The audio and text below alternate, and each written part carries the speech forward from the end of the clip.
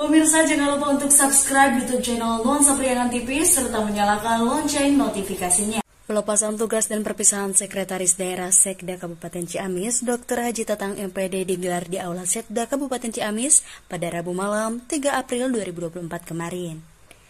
Turut hadir dalam acara tersebut Bupati Ciamis, Wakil Bupati Ciamis, Kepala Kemenag, para asisten staf ahli Bupati, dan seluruh kepala OPD serta tamu undangan lainnya.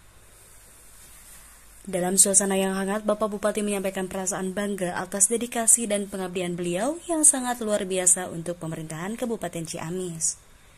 Memiliki sifat yang selalu kooperatif, berdialog, dan mampu menciptakan pelayanan yang terbaik bagi masyarakat yang dibuktikan dengan prestasi-prestasi yang diraih secara pribadi yaitu sebagai sekda terbaik se-Indonesia.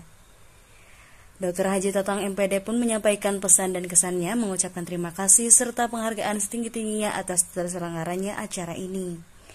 Dalam kesempatan tersebut, Tatang menyampaikan ucapan terima kasih kepada seluruh jajaran Pemkab Ciamis dari Kabupaten Ciamis, Jawa Barat, Nadia F. Asaragi, Nuansa Priangan mengabarkan.